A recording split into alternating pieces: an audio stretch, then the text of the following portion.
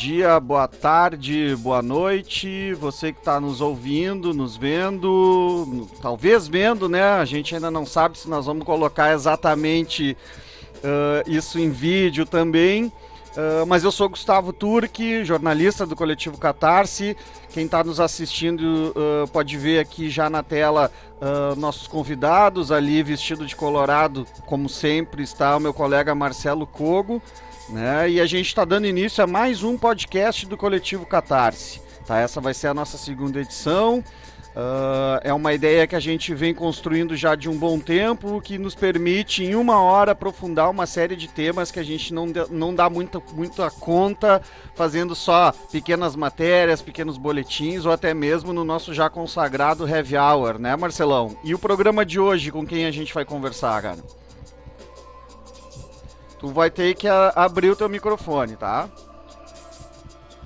Verdade, vem melhor com o microfone aberto, agora funcionando. Então a gente está aqui na nossa sala, aqui no GIFS, é, recebendo o Leonardo Filon, que é advogado e mestre em Direito sócio, da Sociobiodiversidade e Sustentabilidade. Tudo bom, Léo? Tudo bem, mandar um salve aí para a galera, agradecer o convite. Dale. E também estamos com o Antônio Filomena, que é professor aposentado da FURG e doutorado em, em Ecologia, né, Filomena? Tudo bom contigo, meu? Estamos aí, estamos juntos. Tudo firme. Mara, maravilha. E o assunto de hoje, Gustavo, o que, que a gente vai aprofundar com esses caras? Então, a gente, a gente vem já há um bom tempo com essa turma, tá? Com o Filomena e com o Léo. A gente já vem há alguns anos acompanhando uma série de problemas e problematizações, desastres, hecatombes, como a gente já até chegou a falar na questão das abelhas, né? Uh, na primavera do ano de 2018 houve um evento de uma mortandade de. A gente calculou em meio bilhão de abelhas, né? Uh, mais ou menos, assim, a gente fez um cálculo que eu acho que ele é subestimado, né? Muita gente pode dizer que é superestimado, mas a minha impressão quando visitamos aquela região ali de Mata, Jaguari, Santiago, uh, os relatos que nos vinham chegando não eram relatos assim de não, é pouca coisa. Sempre uh, se falava de centenas de colmeias de cada grupo de apicultores, assim, sendo que cada colmeia o que, que tem 60 mil abelhas, a gente gente chegou num cálculo absurdo de meio bilhão de abelhas uh, mortas em virtude do uso indiscriminado de agrotóxicos, né? No, no, a gente foi feita, né? O Leonardo aí acompanhou, Filomena sabe, também foi feito as análises e ficou comprovado que foi o uso de fipronil, principalmente o fipronil na, naquelas lavouras de soja adjacentes onde os apicultores colocam as suas caixas ali na região. Uh, bom, isso vem se desenvolvendo ao longo desses dois anos, a gente vem fazendo um certo acompanhamento. Quem segue o coletivo Catarse, quem vê uh, as matérias que a gente faz, a gente tem uma boa uh, cobertura da que das questões ambientais, né? E agora pintou essa questão da, da nuvem de gafanhotos, né, Marcelão? E a primeira é. coisa que os gauchinhos aqui fazem é já botar seus aviões apostos para atacar ali uh, uh, agrotóxico. Aí eu e o Marcelo conversando sobre isso, vem cá, tia. Né? Uh, tá passando a boiada, tá se aprovando uma série de agrotóxicos, como é que fica isso daí? Né, Marcelão? É, Gustavo, uh, nos chama atenção também o tipo de, de matéria, né? O tipo de, de campanha que é feito na grande mídia, né? Quando a gente observa que sem aprofundamento nenhum é, se noticia que a solução para essa nuvem de gafanhoto que parece uma praga bíblica, né? No entanto, é apenas mais uma daquelas coisas, né? Problemas cíclicos, enfim, é um ciclo da natureza que se repete de tantos em tantos tempos. Isso não é uma coisa nova aqui no Rio Grande do Sul, né? nem, nem no nosso nessa parte aqui do continente. E infelizmente a gente percebe que muitas vezes a grande mídia é usada para que se justifique, né, para que seja justificado uh, colocar mais veneno, mais veneno no mundo, mais veneno na atmosfera, na nossa água. E quando a gente fala de morte de abelhas, a gente também tem que falar da, de morte de muitos outros animais, né, tanto insetos como pássaros, é, mamíferos como morcego. Enfim, é realmente uma mortandade que bate à nossa porta, porque isso tudo também tem reflexo na saúde da, das pessoas. Então é para isso que a gente está conversando. E agora, recentemente, houve um outro caso, né, que a gente até fez uma, uma pequena cobertura com o pessoal lá do apiário é, Francisco de Assis, né, é, fizemos uma pequena cobertura, porque também houve um problema é, lá em Alegrete. Eu não sei se o Léo está sabendo dessa situação lá que aconteceu lá com, com as abelhas lá do, do seu Adir. Estamos sabendo sim, do seu Adir a gente está tá por dentro o Léo não só está por dentro, como foi a pessoa também que nós conversamos e fizemos a matéria também sobre a questão lá do seu Adi. A seu Adi Possato, né? Uh, figuraça, um estudioso, né? Uma pessoa que dedica a sua vida a, ao apiário dele. A gente vê que ele gosta muito daquilo. E mais uma vez, a gente teve lá quando a gente falou de, eh, de outubro lá de 2018, agora em 2020, mais uma vez as colmeias dele são atingidas pelo, por, por veneno, por agrotóxico, né? Bom, a gente está falando também, assim, uh, quando o Marcelo fala da grande mídia, nuvem de gafanhoto, eu não vi ninguém fazer, assim, um, um, um sequer um tipo de estudo para dizer que espécie é aquela de gafanhoto, qual é o tom, só se falava que vinha uma nuvem né, que viria uma nuvem para cá da Argentina, nos atacaria aqui no Rio Grande do Sul e que a resposta que seria dada aqui se estava preparando é a questão do agrotóxico.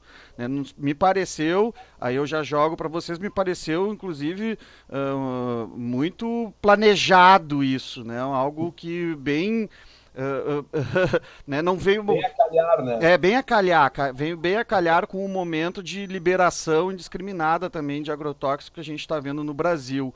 Né? Uh, eu fiz um pequeno estudo, fui ali na internet, Google, achei um estudo da Emater que fala dessas nuvens de gafanhoto ali que tem no, no centro-oeste, o tipo de. fala da espécie de gafanhoto, sim, elas se deslocam 100 quilômetros, mas uh, tem autonomia de voo ali, o salto deles de 30 metros, né, de 30 a 80 metros, voo baixo. A gente tem uma fronteira que é um colosso aqui, que é o Rio Uruguai, né? O Rio Uruguai é uma lâmina de mais de um quilômetro de extensão de água. Poderia também. Ninguém, ninguém sequer levantou Uh, isso simplesmente se falou uh, que viria uma nuvem e que se estavam preparando aviões com agrotóxico para lutar contra isso. Bom, isso é uma questão. E a gente entrevistou o Filomena né, rapidamente, né, Marcelo? O Filomena deu uma bela sugestão também, né? Acho que os os agricultores e os latifundiários podiam botar fogo nas suas lavouras, queimar que também é efetivo, né? Então eu queria, Filomena, que tu já mandando para ti primeiramente, depois uh, a gente conversa um pouco mais com o Léo também, uh, que tu falasse uh, deu para notar um pouco de indignação naquela tua fala que a gente colocou na, na matéria, assim, e, e, e e realmente eh, eh, se é alarmante mesmo essa questão do agrotóxico, né, como solução para tudo. Uh, eu fiz questão de dizer que na minha apresentação que eu tenho doutorado em ecologia, porque fogo se estuda em ecologia. É um assunto lá dos temas de ecologia fogo, porque existem vários tipos de fogo. Existe o fogo controlado. Existe o fogo, esse que nós vemos aí na mídia, no Pantanal, na Amazônia, o descontrolado, o que tu não tu perde toda. Uh, tem incêndios, fogos que os bombeiros não chegam nem perto. Isso já vi. Eu já fui a Minas Gerais ver fogo controlado, porque eles queimam as árvores em pé para fazer carvão, para churrasco.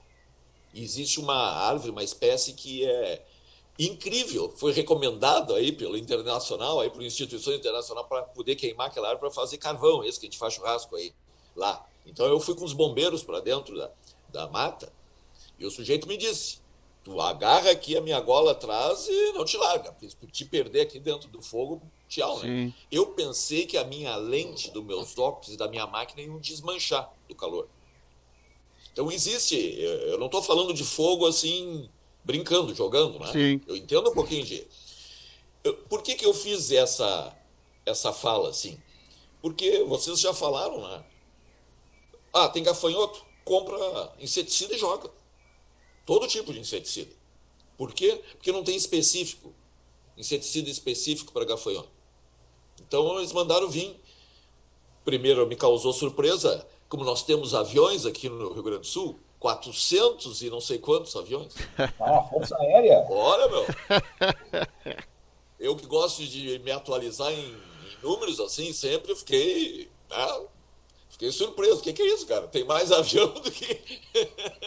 Sim, né? Então, então veio todo mundo se, se, né? se apresentou com os aviões e aí vem aquela conversa que a gente já conhece, né? Vai ser uma aplicação bem cuidada, uh, vai ser tudo controlado, uh, estamos aqui para salvar. A... E aí eu fiz o contraponto, o contraponto que é bem simples até. Se tu deixar os gafanhotos virem, se é para matar os gafanhotos, deixar eles virem e fazer um fogo controlado, rodado, eles têm duas opções. Se o fogo for bem feito, eles não conseguem nem sair. E aí eu vou fazer o acabamento dessa minha hipótese. E se não for bem feito, poucos vão ficar, vão se queimar. Por quê? Na minha ideia, e eu tenho aqui, eu tô, eu tô há horas estudando, isso aqui é um mapa da NASA. Cara, esses gafanhotos vêm fugindo de fogo. Desde a Bolívia tá pegando fogo. Desde a Bolívia tá pegando fogo. Bolívia, né? Paraguai, Bolívia, Argentina, eles vêm fugindo do fogo.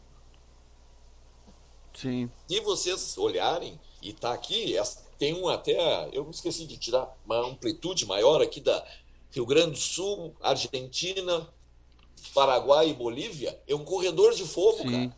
E se colocar mais ali o, o Pantanal e mais a Amazônia, esses bichos não têm para onde fugir. Sim. Não pensa que eles são trouxas. Inclusive, a região de Córdoba ali está em chamas, né? Já há um chamas. bom tempo agora. Porque né? eles não sentem o fogo, eles sentem a fumaça. E sabe direitinho, né? Tchum, se mandar. É uma coisa natural. Então, ah, o que, que eu vejo? Se nós despejarmos, e eles não fazem jogo aberto, né? Quanto que vai ser despejado? Porque eles disseram, é guerra. Então, na guerra, vale tudo. Né? Se nós despejarmos uma quantidade imensa que vai ser no desespero, nós vamos ter ali uma contaminação por 5, 6 anos. Sim. Enquanto se tu colocares um fogo controlado num campo, até em citros, tá aí, ó, é só ligar a mídia aí, tá dando lucro o agrobusiness. Então o agrobusiness pega um dinheiro e dá para esse cara que perdeu o campo, que perdeu os citros, e o cara vai plantar de novo sem contaminação. É que é, a ecologia, quando ficou popular, ela tem assuntos que ela não pode falar porque não é de fácil entendimento. Sim. Então existe a ecologia do fogo. É. Em alguns lugares é uma coisa Nos Estados Unidos é profissional isso. Como é, como é que a gente apaga fogo, esse incêndio que se vê aí no, no, no, uh, no Pantanal tudo? Tu faz um tipo de fogo que apaga o fogo. Sim, claro. Tu toca fogo ali para então, é um método que, obviamente, né, deveria ter sido uma alternativa bem estudada para botar na mesa, mas o governo fez uh, aquela coisa assim que de perdido, né? Estamos perdidos aqui. Alguém diz, pá, então vamos, vamos pegar uh, agrotóxicos, vamos pegar inseticida e vamos jogar em cima desses, desses bichos. Né? Se, deixa eu só fazer um acabamento aqui. Claro. O certo, assim, o mais bacana seria o Brasil deveria ter se associado com Argentina, Paraguai e Bolívia, e ir na origem desses bichos. Porque já é a oitava nuvem, onde eu me atualizei, a oitava nuvem que está vindo. Sendo que o gafanhoto passou desse tamanho para um deste.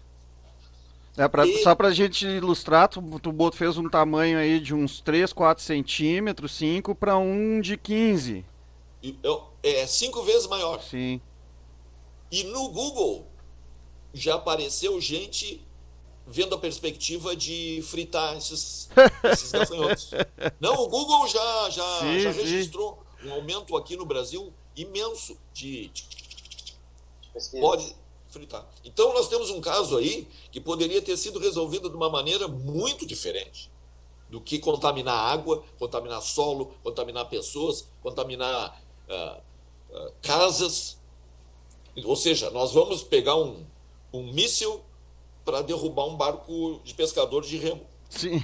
Porque os caras não estão acostumados a tratar com isso aí. Sim. Deixa eu só dizer, desde 2005 tem nuvens de, de gafanhoto. Desde 2005. Então, tinha que ir lá. Onde que são os ovos que são colocados desses gafanhotos? E ali tratar, lá na, no início. Aqui é tipo secar gelo, né? Claro. Imagina, se tu batalhou a primeira nuvem, aí matou 50%, aí vem a segunda nuvem, tu bata 30%, aí vem a terceira nuvem, tu bata 40%. Cara, nós vamos ficar enchendo de inseticida e herbicida e agrotóxico, vai dizendo. E eles vão, eles vão adquirindo uma certa imunidade, né? Não, e vem vindo, não pensa que vai ficar na oitava nuvem. Uma, eu faço uma pergunta mesmo, mesmo de leigo, né? Porque começa no início da tua fala dizendo, né, que aparecem esses agricultores, esse pessoal do, do, do, do agrobusiness é, com seus aviões né, e seus, seus bombardeios de, de veneno de uma forma controlada. E aí depois tu fala né, das técnicas de controle de colocar fogo nas coisas de forma controlada. O que, que é mais fácil de controlar? É mais fácil de controlar é, esse fogo preventivo ou é mais fácil de controlar a natureza e a, e a colocação de, uma, de agrotóxicos no ar bom, como é que se controla o vento, como é que se controla isso, desse agrotóxico ficar só naquele lugar específico. Isso é, é real, isso? É, é assim, é, é, o, é o mesmo golpe que eles usam para a questão das abelhas. Nós vamos aplicar milimetricamente aqui. Vai ser só até a cerca. Então nós vamos regular o tamanho da gota, a gota que o avião asperge. Nós vamos checar o clima, umidade, vento, temperatura, fator de evaporação. Imagina, né? Olha, olha bem para mim, o cara no campo fazendo esse, né? né? Então tá, vamos contar que isso aí existe. Aplicaram milimetricamente. Cinco minutos depois, vem um enxame de 20 mil abelhas fazer o que elas fazem todos os dias. Poso ali, morreu todo mundo. Tu aplicar é uma coisa, mas o resquício que fica vai matar então é conversa fiada essa, essa, essa coisa que eles né? têm de controlar. Ah, inclusive a justiça aqui no Rio Grande do Sul caiu nessa conversa fiada de controle, de aspergir uh, agrotóxico. Milimetricamente, nós vamos medir, é até a cerca. Não existe isso. Sim. Existe até trator que aplica aqui, sai, o trator é baixo, né? Eles chamam de gafanhoto, uns, né? Olha só, gafanhoto. É, é né? Aí ele aplica só ali naquela altura, depois vem um milhão de abelhas ali, vem cascudos, besouro, cigarra, formiga, uh, abelha sem, sem ferrão, beija-flor, vai dizendo, rato, vai dizendo. O que a gente então, percebeu. Não existe isso, isso é conversa fiada. O que a gente percebeu. Uh, uh, Esse o que... ponto que tá tocando. Vai, vai, vai, Léo. Vai, Léo. O ponto que tu tá tocando, Filomena, ele é, ele é central até para os inquéritos que estão em curso agora, né? Aqui no estado de Morte de Abelha. A gente fez aquelas representações em 2019, no Sim. evento lá em Mata, e a, o, des, o, desfecho que vem se, se configurando nesses inquéritos é de criar um sistema de monitoramento de insetos.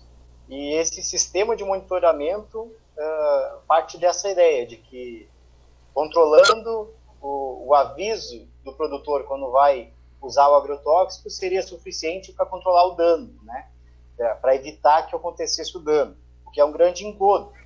É, é aquilo que, que outras iniciativas das próprias agroquímicas, que já existem há alguns anos, também faz, que é uh, ficar com o dado do, do, do, apicultor que, que diz que morreu as abelhas e vai lá e faz uma que outra análise, mas não resolve o problema. E o problema só se resolve se efetivamente não for usado veneno.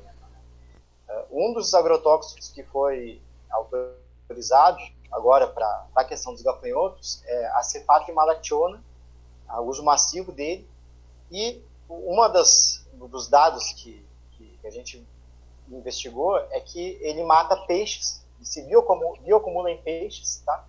Ele mata aves e ele mata microcrustáceos e algas. Então, é isso que o Filomeno está falando, que depois a gente foi, vai dar uma investigada maior, é, é a deriva terciária, né? tem vários tipos de deriva.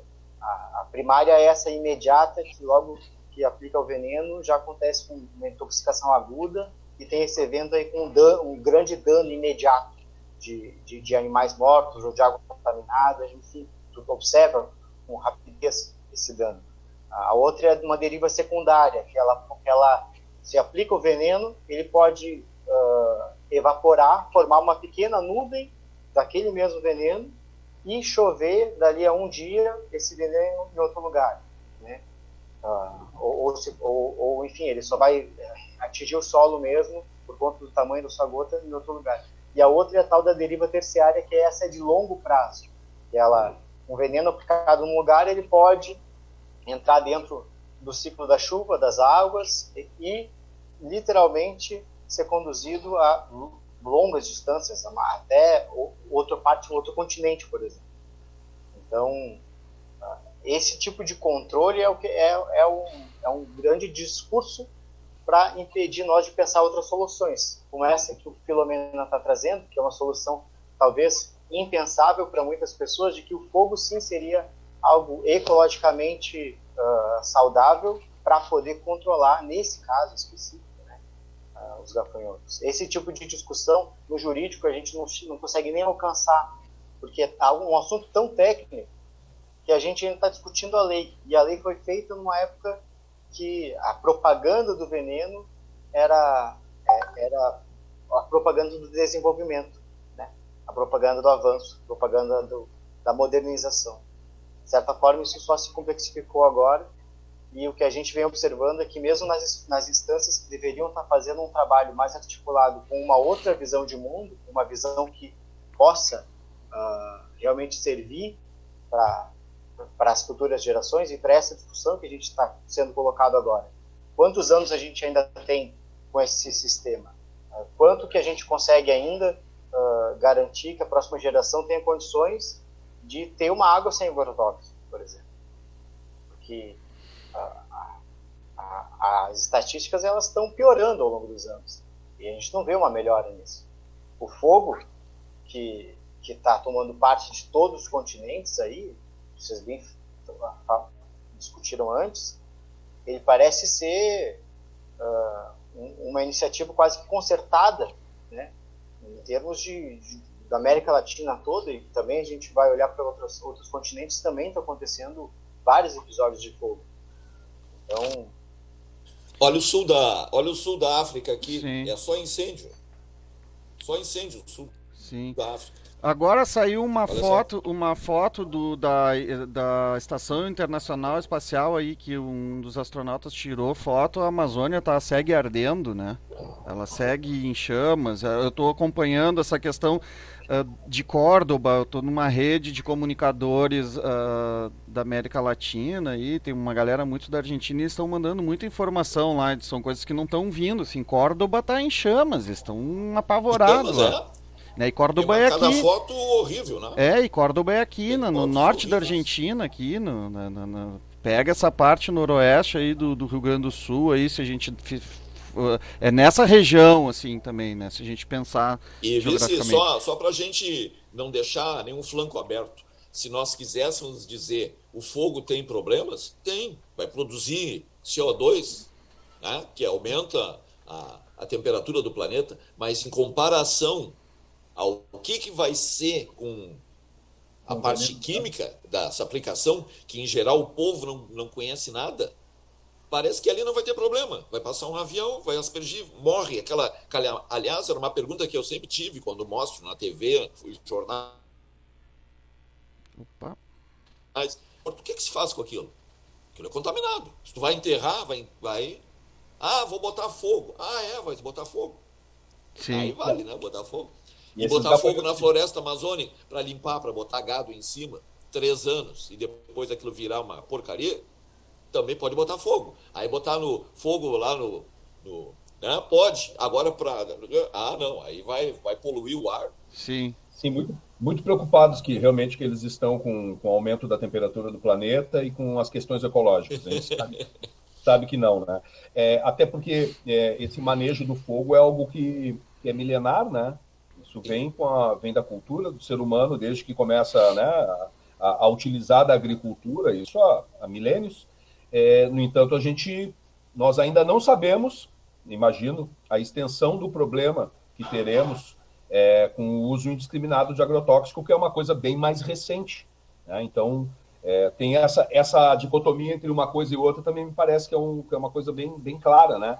No... O, que vai, o que vai ser da nossa espécie e parece quando eu ouço o Léo falando, a gente já sabe que muitos dos nossos mananciais da água que a gente bebe já está contaminada com agrotóxicos. Né? A gente já sabe disso. Me parece que é aquela tentativa de vamos ver se nós nos adaptamos né, a essa nova realidade, a esse novo normal que é beber água e comer veneno o tempo inteiro. Tu sabes que eu tenho uma lista de cervejas e vinhos contaminados com agrotóxicos. Vê se alguém põe isso, expõe isso. Porque existe uma pressão para não falar nesse assunto. Claro. Né? Para não mostrar. Erva mate com agrotóxico já existe. Né? Então, isso aí a gente está deixando uma é, é, uma revolução silenciosa que está acontecendo e andando, né? E a gente tentando mostrar alguma coisa, né, em cima disso e é difícil, porque a pressão é gigantesca. Claro, é Essa lista de vinhos e cerveja eu tive que buscar nos Estados Unidos, porque aqui ninguém fala. Sim. Sabe que essa era uma das coisas que eu estava pensando, sei que o Gustavo de repente deve ter alguma pergunta, mas vou aproveitar que tu entrou nesse assunto porque é, esse uso indiscriminado de agrotóxico ele prejudica muitas outras pessoas, muitas outras cadeias produtivas. Né? Prejudica o pessoal que trabalha com mel, a gente sabe que prejudica o pessoal que trabalha com vinho, sabe que prejudica o pessoal que trabalha com oliveiras, sabe que prejudica o pessoal que trabalha, sei lá, plantando qualquer coisa que queira que seja limpa. Ou seja, prejudica muitas pessoas e muitas outras cadeias econômicas e parece que beneficia tão somente uma única cadeia é, econômica. É, exato, exato. É, essa relação de poder, como é que a gente consegue enxergar essa relação de poder, Leonardo? Eu acho que tu pode, de repente, nos ajudar um pouco a compreender isso. Por que, que não, não se consegue dar o um enfrentamento? Por que, que não vem o pessoal do vinho, o pessoal do azeite de oliva, o pessoal do mel e diz assim, ó, basta, chega, nós não vamos passar a vida inteira comendo veneno e soja. A gente também pode comer outras coisas. Mas por que, que não se consegue juntar essa força? O outro lado é tão, tão, tão assim poderoso? Olha, eu não diria poderoso. O outro lado, ele está envolvido com uma estrutura muito forte, que é a estrutura violenta do Estado. Né? Uh, por que, que eu digo isso? Porque ah, se você for analisar a partir de que ponto que começou a se usar um, um, um uso mais intensivo mesmo de, de, de, agrotóxicos, é a partir do ponto que o crédito rural começa a obrigar uh, o produtor que quisesse aderir ao crédito rural, na época da ditadura, passa a ser obrigado a comprar agrotóxico. Então, mesmo que ele não usasse, ele tinha, ele era obrigado a comprar, senão ele não podia acessar o crédito. E, e, e isso é, é, o que uma mola propulsora mesmo é, de, um, de, um, de várias mudanças, né? A gente teve no decorrer disso alguns episódios uh, que internacionalmente ficaram muito conhecidos. Uh, um deles é a, na Guerra do Vietnã, uma, aquela mistura do agente laranja, que era 2,4D com 2,45T, que causou uma série de danos até hoje sentidos nas gerações que nascem hoje no Vietnã. Né?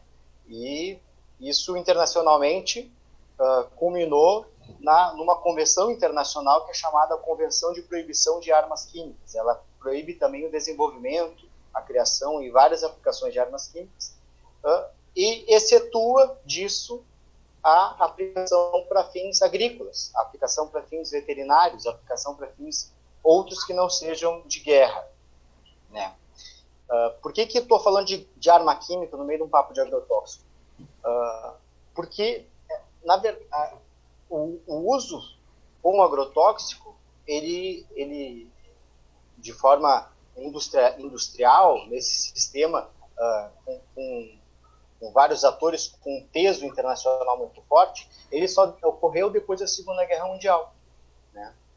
Ah, na Primeira Guerra Mundial, essas empresas desenvolveram várias moléculas foram usadas como, agro, como armas químicas, eram, eram moléculas usadas só na agricultura, que foram usadas como armas, armas químicas, e essas mesmas empresas vão depois aplicar isso para a agricultura como uma desova de uma tecnologia que não tinha mais como ser utilizada internacionalmente, né? E aí começa, uh, através de acordos internacionais que obrigaram vários países aderir a esse sistema, né, sob pena de uh, sofrerem as consequências internacionais. E aí as consequências internacionais é de geopolítica, não é de direito, é de golpes, é de, é de derrubada de governos, é de derrubar, derrocada de economias, enfim, são séries de instrumentos que foram uh, culminando nisso. Né?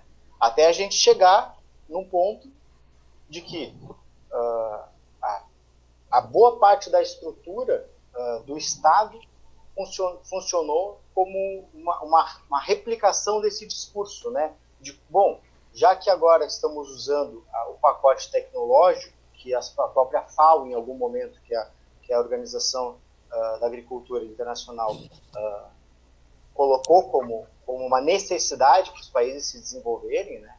Uh, tem uma frase bem interessante do, uh, de um filósofo uh, decolonialista, que ele fala a, a, a, civilização se desenvolveu a partir de vários de várias fases. A do civiliza-te civiliza-te ou dou-te um tiro democratiza-te ou dou-te um tiro neoliberaliza-te ou dou-te um tiro né? E, e então está muito mais atrelado a uma estrutura violenta e que fecha os olhos para uma violência no campo, porque existe uma guerra no campo, né? Acho que agora essa guerra no campo, que antes ela era velada, agora ela está uh, às escâncaras, mas tem uma mão muito pesada dessa violência por parte do próprio Estado durante a ditadura e agora, de novo, uma, uma, uma estratégia violenta por parte do Estado contra matrizes de produção que não usam agrotóxicos, né? e que, portanto, não estão inseridas dentro desse sistema uh, de poder. Está muito mais atrelado a isso do que, do que a um poder uh, real que seja uh, de adesão livre e voluntária das pessoas. É uma adesão que foi fortemente atrelada a esses processos. E, e, tem uma outra coisa que, que tu falaste, né? que a, da tecnologia, a gente não pode esquecer que quando entraram, tinha na mesma bolsa, ali no cantinho, os agrotóxicos claro. desenhados específicos, né? Específico o Brasil caiu nessa. E o Brasil caiu nessa. Ou seja, hoje tu só planta soja se tu for usar não, né? Agro, aquele agrotóxico é, específico. Eu tenho, específico eu tenho um relato disso bem interessante. Assim, eu sou de família também de que vem da fronteira, tá? De São Borja, né? Gente que, que a vida inteira trabalhou em instância arrozeiro, tá? Uh, eu me lembro bem quando entra a soja transgênica aqui, até uh, não sou alinhado, amo demais os meus parentes lá de São Borja, gosto demais de ir para lá, mas eu politicamente não sou alinhado a eles e questionava a questão da soja transgênica. E era bonezinho da Farsul para cima e para baixo. E os caras influenciaram a minha família, né, o meu tio avô, o meu primo, tá, a modificar a vocação deles, que era mais do que centenária a, a, a plantação de arroz, tá?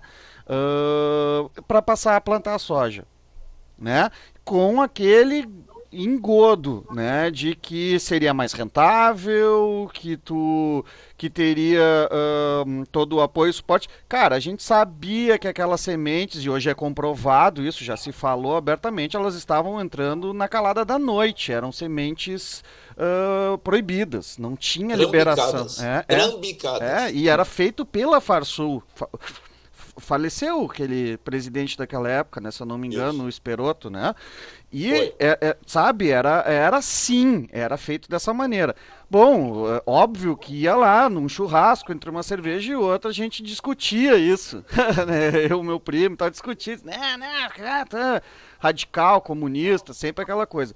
Bom, tempos depois, o meu primo não podia nem ouvir falar em Farsul, nem ouvir falar em Esperoto, tá? Porque ele teve que, cada vez que ia fazer uma nova lavoura de soja, além dele perceber que para trocar a cultura de volta para arroz, aquele solo estava danificado e precisava fazer um trabalho, cada ciclo novo da lavoura de soja tá? Cada ciclo novo da lavoura de soja uh, eram novos agrotóxicos, novos defensivos, novos produtos e cotados em dólar que precisavam ser colocados.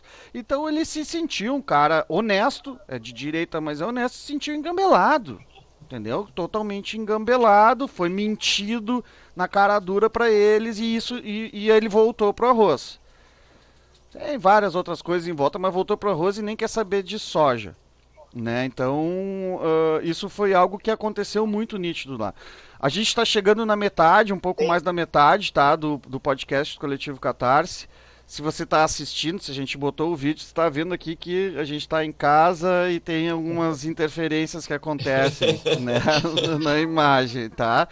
Um pouco de fofura É, um pouco de fofura no meio. A gente está conversando com o Leonardo, eu e o Marcelo Cogo estamos conversando com o Leonardo Pilon ou Pijon?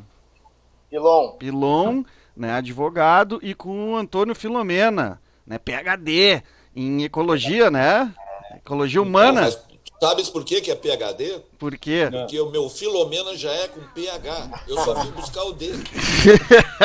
é isso aí. Tá, a gente está falando sobre essa questão, entre várias coisas, a gente está conversando sobre as questões do, do, do, uso de agrotóxico. A gente começou, ensejou já com a questão dos gafanhotos, né, que era uma ameaça, vamos botar entre aspas, uma ameaça ao território gaúcho aqui, que tem uma força aérea tremenda. A gente está descobrindo que tem mais de 400 aviões né, a Força Aérea Gaúcha, aqui Galdéria, né, mas falou também sobre abelhas, e é importante a gente mencionar de novo a questão das abelhas, e eu quero até perguntar para vocês, perguntar para o Léo, uh, a que ponto anda, né, que tem várias representações que foram feitas, já são dois anos de trabalho em cima disso, né, tá fechando, tá entrando uma nova primavera, a gente fez um filme, né, O Medo da Primavera, né? Então, continuamos com medo dessa primavera ou não. E importante, o, o, só fazer um, um, sumarizar o que, que foi dito aqui, que é aquela coisa de que tu vai jogar tanto de avião quanto de, quanto de trator, aquele agrotóxico não fica encaixotado naquela área e ele não respeita a cerca. E a abelha carrega também para a sua colmeia. Esse foi o episódio do fipronil, né? As abelhas pegaram, foram lá na lavoura e carregaram para as colmeias e as abelhas morreram morreram nas colmeias.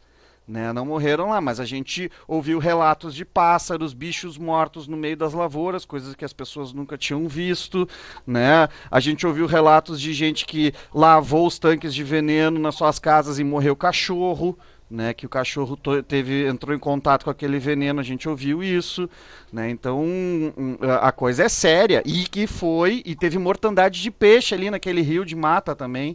Não me lembro o nome daquele rio que tem ali, mas as pessoas falaram de uma mortandade gigantesca de peixe porque aquilo vai lavado, vai para o rio e acaba matando a, a fauna local também.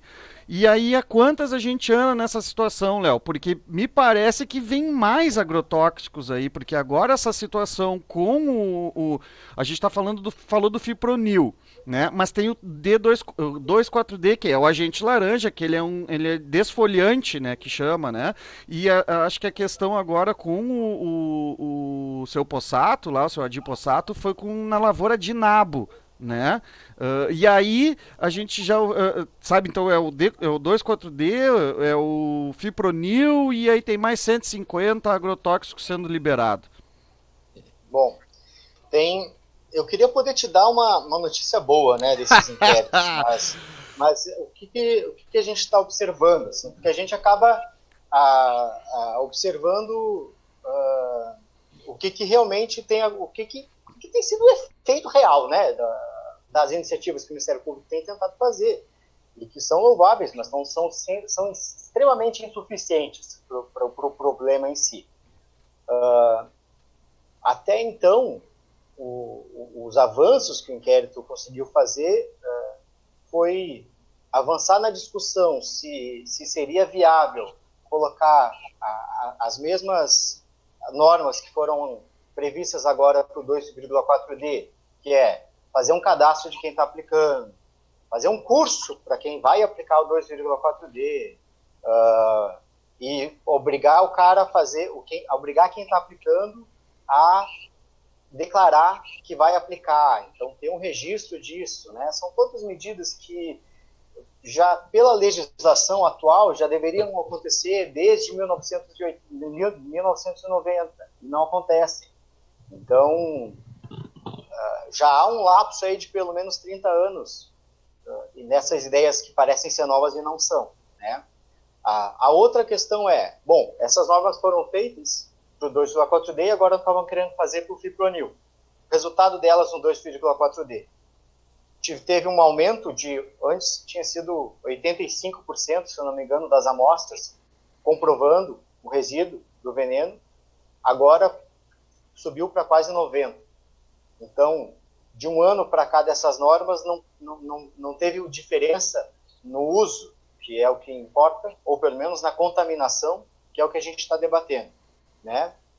Para a questão do vinho, das oliveiras, das macieiras, nós pecan, e esse pessoal aí está amargando um prejuízo de novo, agora com um inquérito em andamento que não resolveu o problema, né? Então, e ao que tudo indica, vai amargar mais um período ainda de dano, sem ter nenhum ressarcimento desse dano e sem, e sem ter uma solução para o seu, o seu, a sua forma de, de ganho de vida, né, para a sua forma de economia.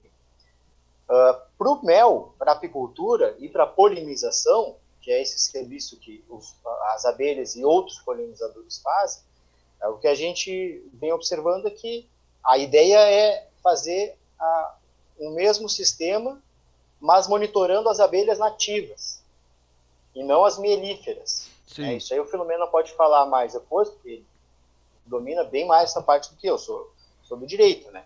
Então, uh, dentro dessa ideia de fazer um monitoramento, não tem nenhum tipo de, de mecanismo que garanta ao, ao apicultor que ele não vai, que, que, aquele agrotóxico vai realmente parar de ser usado, que é o fipronil, né?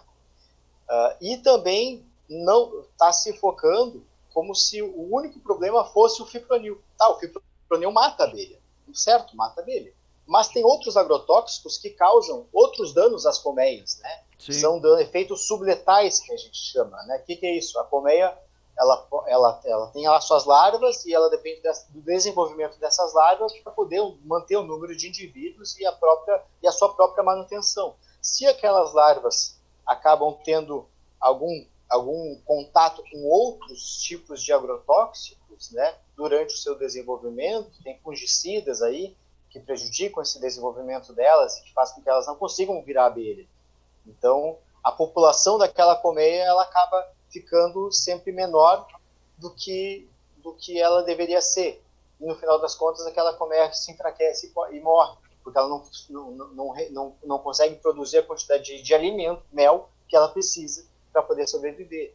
Então, uh, além do fipronil, tem vários outros venenos que deveriam também estar sendo focados, inclusive o próprio glifosato e o próprio 2,4-D. Né? É por isso que a gente pensa nessa matriz toda que está tá engambelada. E se a gente for olhar, o Marcelo antes me perguntou, tá, mas esse pessoal é tão poderoso assim? Faz a pergunta do dicamba para quem é sojicultor, para ver o que, que ele acha do dicamba.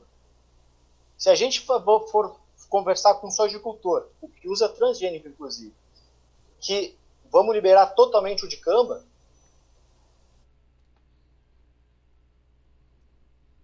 eles enlouquecem. Dicamba tem processo nos Estados Unidos, isso é bem interessante. O dicamba, é, que é um outro tipo de agrotóxico, ele, ele causa um dano nas lavouras de soja.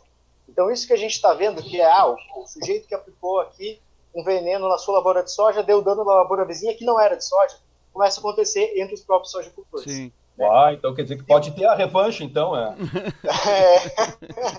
é, é falando Não, mal assim, é. E tem, e tem uma é. coisa, vice, Léo? Diga. Em 1977, quando eu fiz meu mestrado, é, eu fiz uma disciplina chamada uh, Biologia da Poluição. Era só prática. E eu peguei em 1977, no estado da Louisiana, onde eu morava, eles têm mania de comer um pitu, aquele lagostim de água sim, doce. Sim. Põe num caldeirão com bastante, bastante ervas e, e, e coisas da, da, da, da, da água doce. Estamos falando de água doce. Comer com cerveja. Toma cerveja e come aquilo assim. Uma loucura. Aquilo é assim, ó. Cara, festa com aquilo.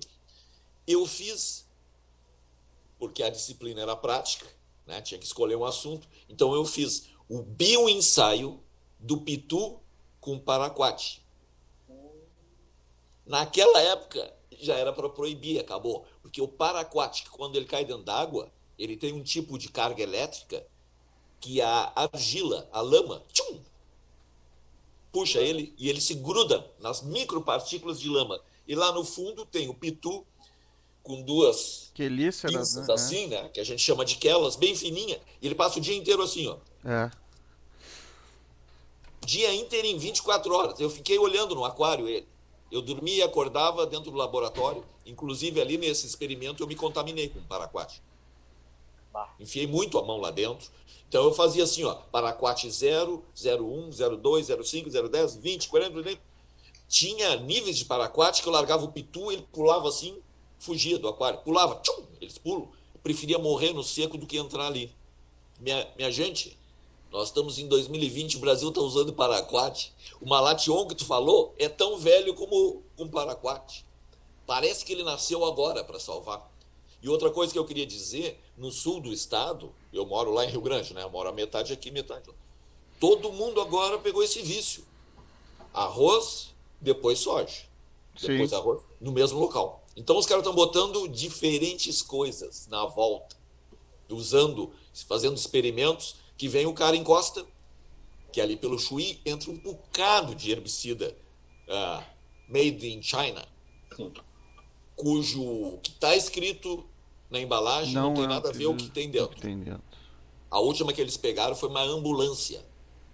Sem querer, a polícia rodoviária aí, encosta aí, deixa eu ver o documento, abre lá. Quando o cara abriu atrás, não tinha máscara, não tinha padiola, não tinha oxigênio, era só agrotóxico. Tapado de agrotóxico. Cara, isso é uma loucura. O, o que eu estou interferindo para responder a pergunta é que este governo tem como os grandes ministros, o da economia e o da agricultura. Então, tá aí a resposta. Né? Sim, né? é verdade. E está saindo agora, né? Não, e não é, a coisa e... que se salvou do, da queda econômica do PIB foi a parte de agrobusiness, que cresceu 0,4. Com toda a onda que eles fazem, só 0,4. O resto tudo afundou. E não à toa cheio de gaúcho no governo, né? Cheio de gaúcho no governo, né? A gente tem a nossa bancada ruralista tá dentro do governo do início ao fim né? Uh, quem, quem for os artífices lá, a gente nós identificamos e, e, e, colocamos aquilo que acontece em 2016 como um golpe. Nós aqui do coletivo Catarse, eu pessoalmente também, é um golpe aquilo que acontece. E o artífice é o Peronde, um dos artífices ali, Darcísio Peronde, o, o, o Gergen tá junto nessa história, dessa bancada ruralista toda muito forte do Rio Grande do Sul e que dá o próprio Marum Marum é elite agrária do Rio Grande do Sul que vai migrar pro, pro, pro Mato Grosso, né? Mato Grosso Heinz, Heinz. Heinz, né? A gente tá falando, sabe? Galera Bom, toda. Deixa eu só dizer para vocês se divertirem um pouquinho. Eu procuro, cara, que nem louco, esse meu trabalho de 76. Como eu tenho muito documento e muito papel, tá perdido. Que eu tenho uma curiosidade de saber o que que eu descobri na época, né? Qual é o ponto que bate esses bichos, que eu posso publicar agora. Pois é. Bom, a gente está chegando na parte final, tá? A gente tem mais uh, a ideia que a, a gente... gente... se nega, a gente vai continuar conversando. É, tem teto não. Eu nem mostrei armas aqui. pois é, né? A intenção é uma hora de conversa, né? Mas vai, o tema é, é, é, é grande, o tema enseja muitas, muitas capilaridades que também são pesadas, né? Mas fica como um primeiro episódio, né? A gente vai dar sequência, a gente já está um bom tempo conversando, né, Léo? De que o coletivo Catarse sim vai abraçar a cobertura dessa frente contra os agrotóxicos que está se montando, não só no Rio Grande do Sul, mas é em nível nacional também, é, um, é uma, é não é uma atuação só restrita aqui, né? A gente já está não só por princípio jornalístico, mas também porque é uma militância nossa também, a questão ambiental, então a gente vai estar tá, sempre tá trazendo essas temáticas e conversando com vocês e, e, e problematizando isso, né? Aí nessa parte final, Uh, eu, eu, eu, faço aqui um, um ensejo e mando pro Marcelo, tá? Eu queria que vocês falassem sobre perspectiva futura mesmo, sabe? Como é que, né? O, o, e Ele aí? começa primeiro. Vai. Ele começa primeiro. Eu acho que as perspectivas futuras são bem importantes, mas eu estava louco de vontade de fazer uma pergunta que eu sei que vai pode estender muito o resto do programa, mas eu preciso fazer essa relação. É, quando a gente vai numa cidade como Mata, quando a gente vai no Alegrete, quando a gente vai, sei lá, em Dom Pedrito, a gente sempre sabe que uma das grandes dificuldades é que aquelas pessoas, aqueles agricultores, aquelas pessoas prejudicadas naquela comunidade, elas, cara, elas convivem diariamente com a pessoa que lhe prejudicou, com a pessoa que é, contrabandeou agrotóxico, com a pessoa que colocou agrotóxico de maneira é, equivocada, maneira errada, ilegal, enfim. Ela convive diariamente com aquela pessoa. Isso causa um constrangimento muito grande, inclusive para que essas pessoas se movimentem e consigam dar enfrentamento a esse problema. É, fiquei pensando numa ilação. Por que há tanta dificuldade no nosso judiciário? Por que, que esses processos são tão morosos? Há alguma relação é, entre juízes e latifundiários, juízes e fazendeiros. Eu disse que ele ia responder. Então, enfim, é, às vezes são da mesma família ou são das mesmas comunidades. Isso causa alguma espécie de constrangimento para que os nossos juízes, é, procuradores de Ministério Público possam fazer o seu trabalho, que é aquilo que a gente espera deles? Eu te diria que aqui no, eu acho que no estado do Rio Grande do Sul, né, a gente tem essa tradição de, de larga, largo tempo, né? que é a confusão entre o poder econômico e o poder uh, político, e por consequência também o próprio poder jurídico. Sim. por, por, conta de uma estrutura social de tempos. Uh, se a gente for, for debater, por exemplo, a necessidade de uma reparação histórica né, da, da estrutura agrária nossa, e, e, e colocar hoje na perspectiva atual de, de todo esse papel que o judiciário acabou desempenhando ao longo dos anos, em, tanto uh, nos processos de cadastro de agrotóxico, que é o que a gente estudou, por exemplo, tem, tem as empresas, quando elas têm algum tipo de, de restrição pela FEPAM, elas sempre vão à justiça. Né? E isso ao longo de mais de 20 anos de vários processos judiciais, elas conseguiram lograr algumas vitórias e que foram derrotas uh, nossas, né? No a nossa vitória, por exemplo, que foi a lei de 82, primeira lei que foi regular agrotóxico, ela foi judicializada, foi para o Supremo, né? Uh, e a, embora a gente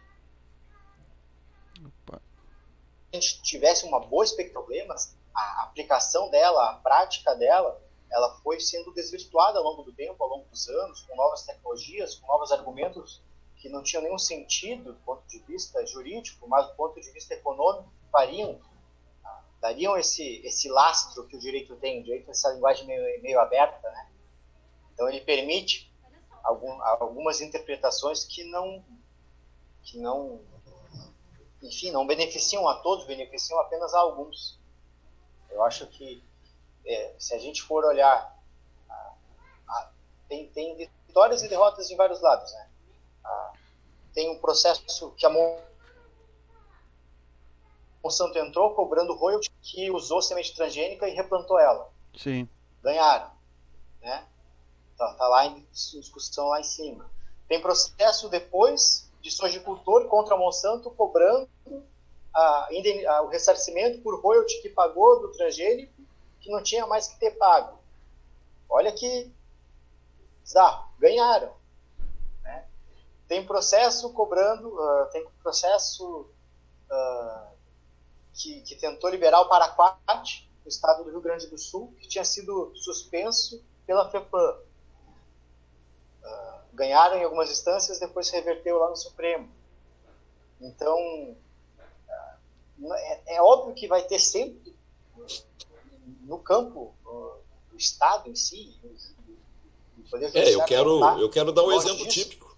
Vai ter sempre algum tipo de, de interferência, de influência, porque é muito poder, né, muito poder econômico do ponto de vista internacional, de uma estrutura que vai desde a produção uh, de, de, soja uh, e milho transgênico para alimentar animal, para alimentar, por exemplo, o, a indústria da JBS. Eu tenho um exemplo típico. Para outros lugares. Então, uh, eu, penso que se a gente, por exemplo, conseguisse estar mais presente nessas nessas demandas, a gente conseguiria talvez segurar um pouco mais. Porque ali é um embate que a gente ah, não não não não não não está tão tão junto, né? Todas as entidades, Sim. a gente acaba uh, de, não conseguindo estar em todos esses espaços. Mas esse é um espaço de, de manutenção, muitas vezes, uma conquista que pode ser perdida por uma decisão de uma pessoa só. Né? Não sei se respondi a tua pergunta, mas ah, eu, só estou dizendo. Eu vou, eu vou fazer um acabamento da tua. Da tua... É, a, gente sabe que assim ao vivo e vai para muita gente ouvir, tu respondeu no limite da segurança. Claro. vai, vai, eu vou fazer o, fazer um acabamento assim. Primeiro, na área ambiental, que eu estou há 49 anos, hoje ainda fiz a conta, a gente perde 100 e ganha uma. Uhum. Então, normal. Não conseguimos botar nada na televisão, nem que seja 30 segundos de propaganda, né? Não temos, né? Então tá. Semana passada eu fui lá no seu Adi olhar. Uhum. O que que eu vi? O que que me marcou? Um pequeno apicultor, não é seu Adi, o seu Adi me levou nunca e perdeu também. Um pequeno agricultor, esposa, filho. Caminhonete bem antigona. Fomos lá na área. Na área tem 20 mil hectares. Nossa. Já fui em um lugar que também, pequeno, e era tão grande do outro lado que o cara mora em São Paulo. Ele nem tá ali. Sim. O cara nem sabe quem é, aquela turma da volta. Então Não temos uma, uma pessoa com 100 caixas que vive daquilo ali. Sim. E do outro lado nós temos isso aí. Aí eu chego aqui em Porto Alegre, ligo, pum, a televisão e entra. Quanto que deu de lucro o agrobusiness? Tá aí. Tá. Independente das pessoas que tem no meio do caminho, do Supremo até aqui, o Supremo ainda podia ter mais coragem, mas até eles entenderem, até a gente ser bem, é, escrever bem legal, e por isso que eu, quando eu faço laudo eu, eu tenho um problema, né? Que eu sempre penso isso, né? A pessoa tem que entender Sim. Não é que nem eu. Eu entendo ter um põe bem simplesinho ali. Aí, é, não, tem que ser uma coisa bem explicadinha, legal. Porque entre esse aqui embaixo, uma caminhonete velha, e o negócio lá em cima, o que está correndo, meu amigo, eu fui ver, isso aí me caiu uma ficha muito boa quando eu consegui entrar no Congresso para ver a votação do Código Florestal. Uma das maiores vergonhas que eu já vi na minha vida. Cara, eu arranjei até briga dentro do Congresso, cara. Eu tinha prometido para minha mulher que eu não ia brigar, arranjei uma briga lá dentro. Porque o agrobusiness é, tinha número certo, né? Já tinha sido, já tinha a primeira sacanagem que foi dar os crachás só para quem interessava. Sim. Eu consegui um crachá, porque há muitos anos atrás eu fui candidato pelo Partido Verde a prefeito de Rio Grande. Então eu consegui.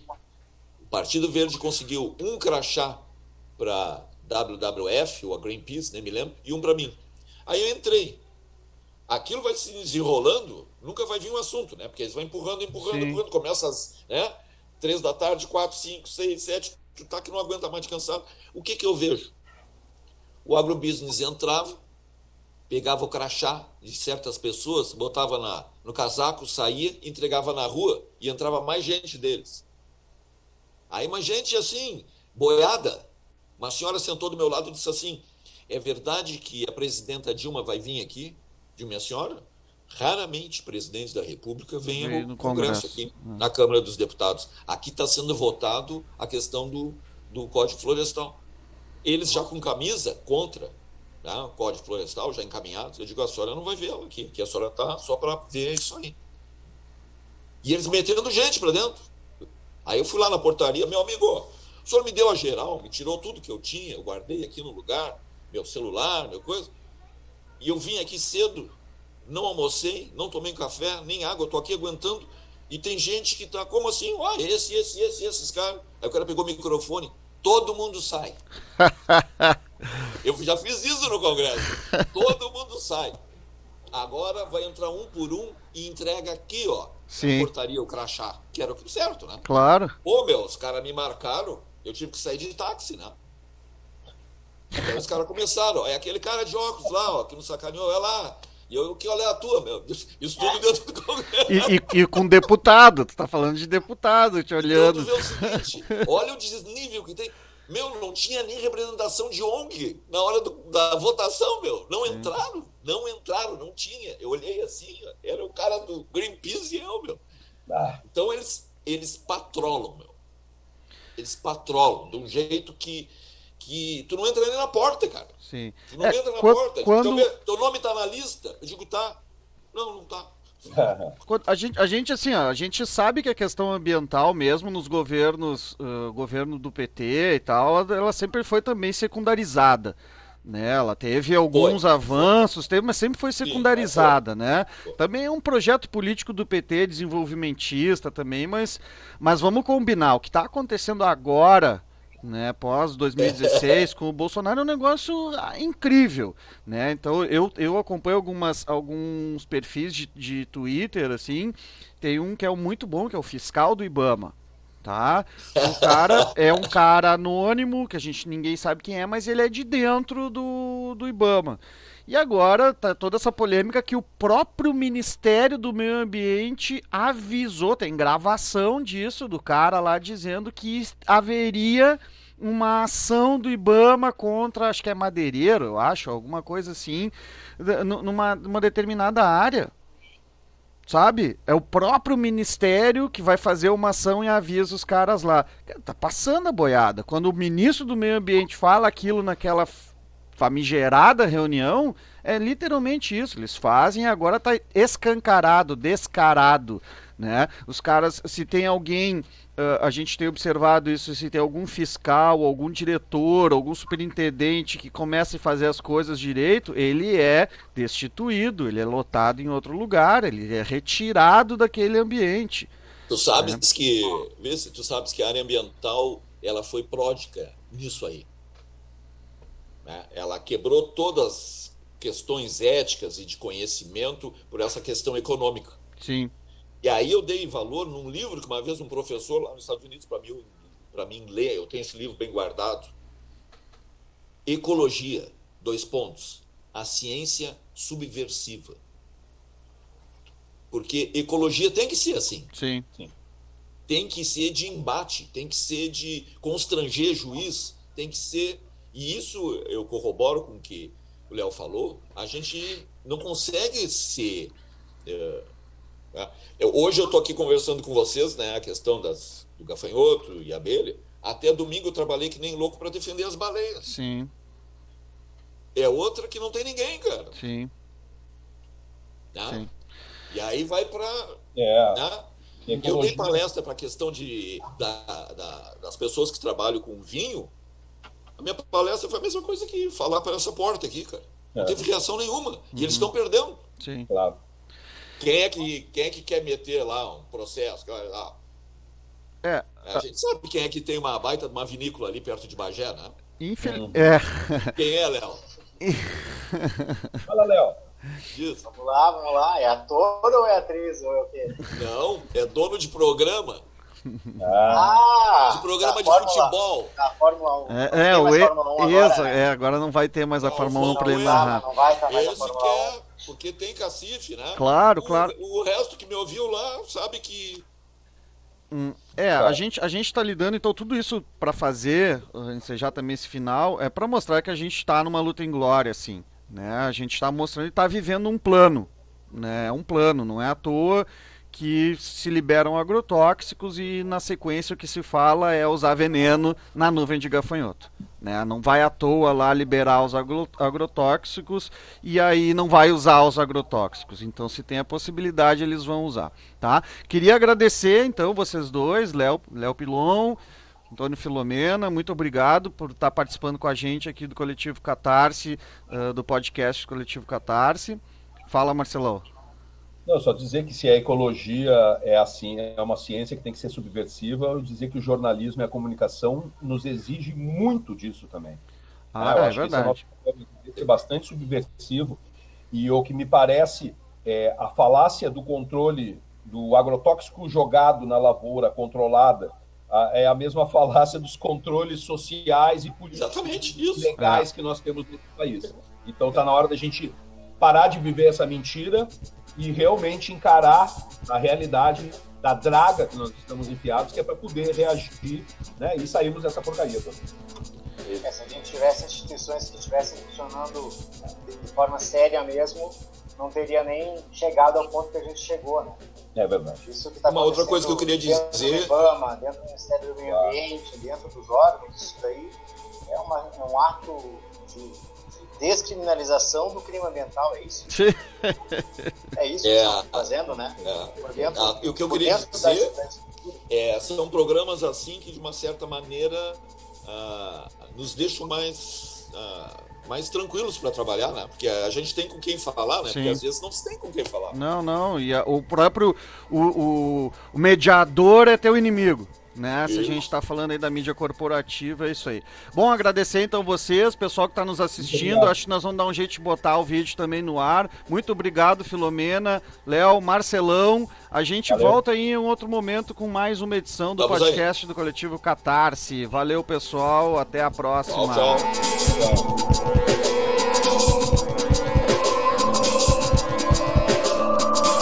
Gustavão.